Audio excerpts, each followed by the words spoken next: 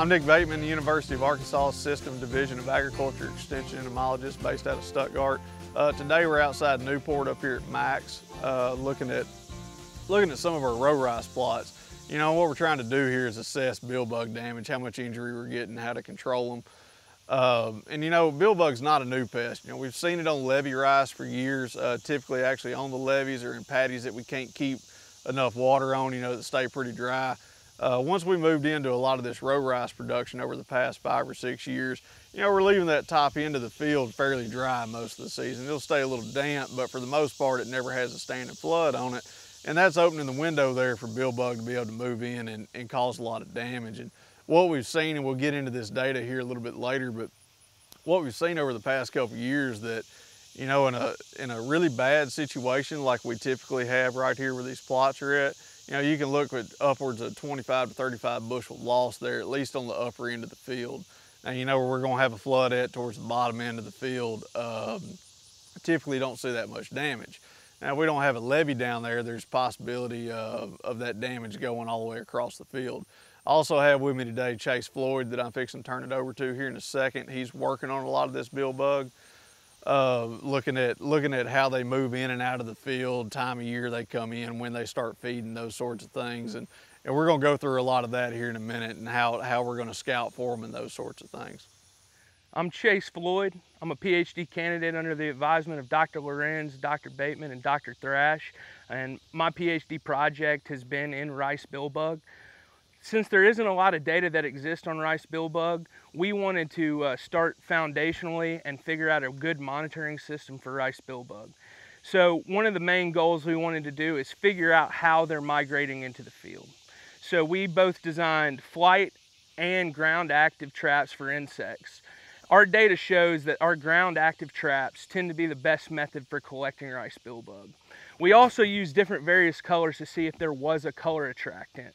Um, pink seems to be the best color, but we're not 100% sure on that. We're more confident and they just like to be under something safe.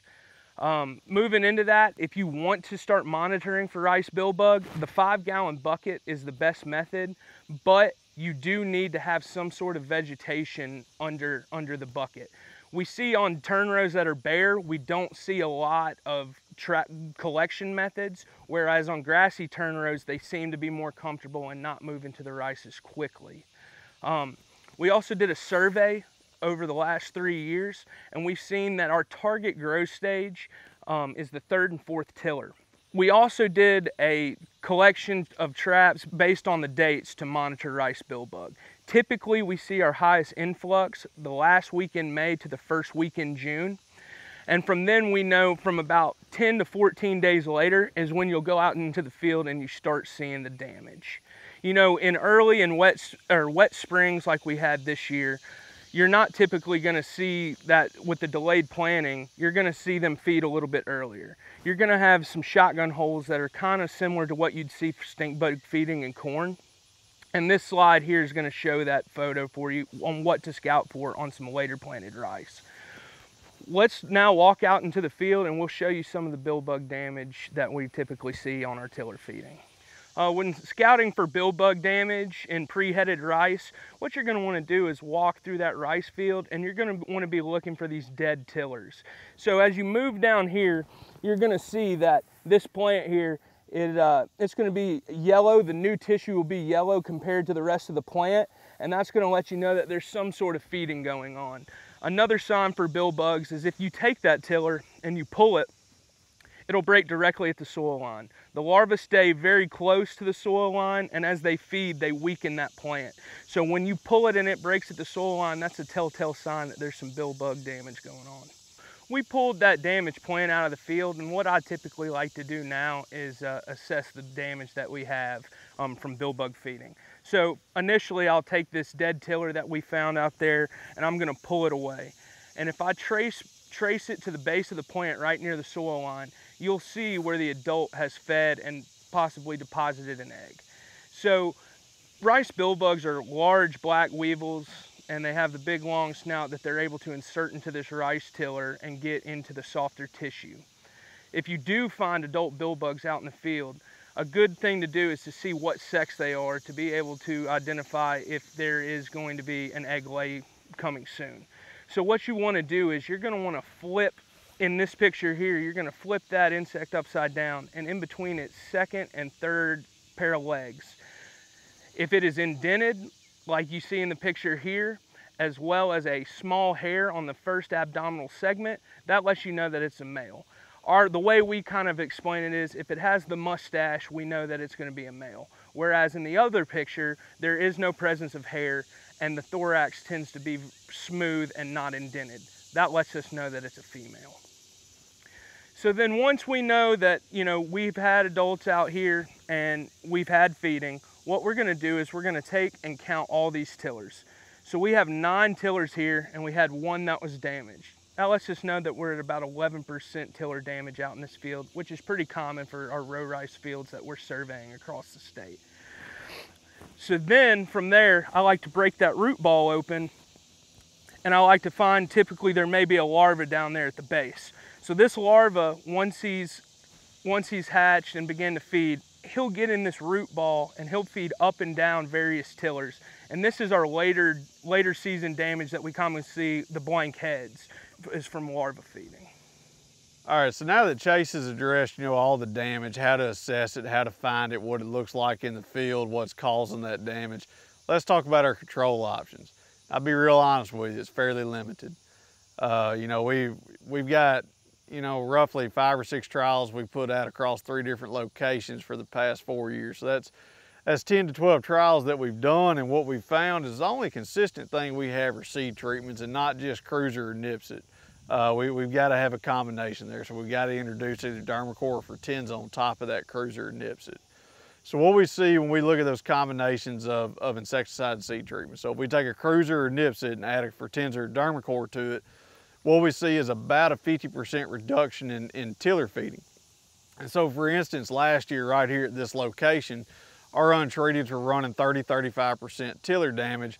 Our best treatment, which happened to be Nipsit Fortenza, um, you know, it was running about 15%. So we're looking at somewhere around a 50, 55% tiller reduction there, uh, uh, damage tiller reduction. But you notice I said it's still around 15%. It's not bulletproof. We haven't found anything that's bulletproof on them that's gonna zero uh, bill bugs out. From a foliar standpoint, you know, we talked about all this monitoring, how to scout for them when we find adults. You know, we get the question all the time, well, what's the point? Especially from a foliar standpoint, you know, can I go out and time a foliar? And, and the answer is no, we haven't found anything from a foliar standpoint that's very effective. You know, you think about the products we have labeled in rice, you basically have diamides, a few neonics, and an IGR. And, and of those, none of them really have a long residual there. And we see this migration into the field, you know, Chase mentioned, it can last upwards two to three weeks at times, especially this year. You know, it was about a month that he kept seeing high populations move into the field. So we just don't have anything that'll provide that kind of residual.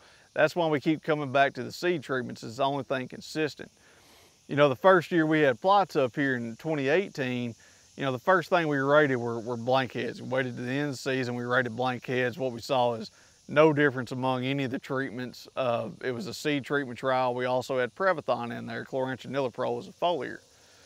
And basically what we saw there is no difference whenever it comes to blank heads, but then we put a combine in it and there was about a 35 bushel difference between um, between the untreated check Cruiser Nipsit and something that had Dermacor Fortenza into it.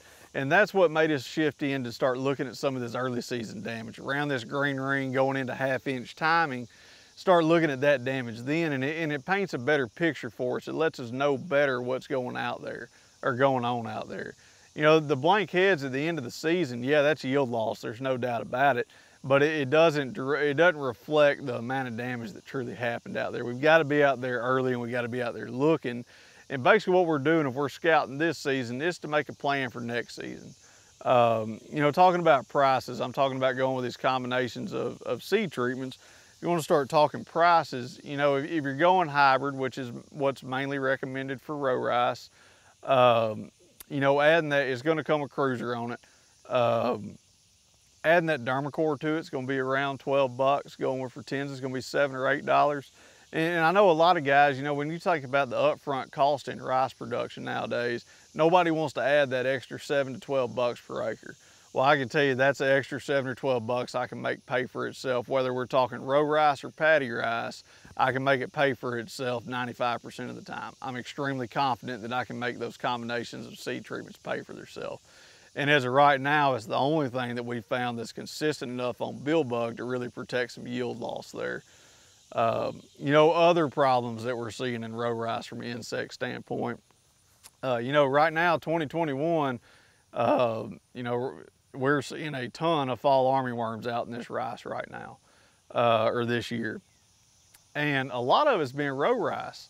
You know, we, we're seeing it some in paddy rice, but I'd say 90% of the calls we've had so far have been on row rice.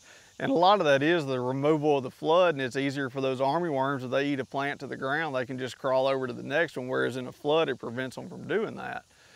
And you know, rice water weevil, that's the number one pest we have in rice production in the Mid-South. You know, we think about row rice, we remove that flood at least off of a third, if not two thirds of that field, and it's sort of like, you know, is row rice, or is rice stink, or rice uh, water weevil still gonna be an issue? Well, if we're holding water down in the bottom end of the field, you know, we're liable to see a sink down there and have really high populations of rice water weevils.